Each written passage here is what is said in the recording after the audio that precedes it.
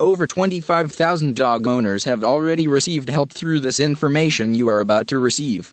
These include animal shelters, police canine units, breeders, and trainers.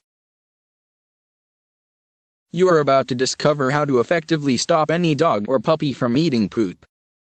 Yes, these methods are highly effective and will work for your dog. Get rid of your precious dog's bad habit once and for all. Poop eating is not just gross, it can put your family and dog at risk for salmonella, toxocariasis, and other nasty infections.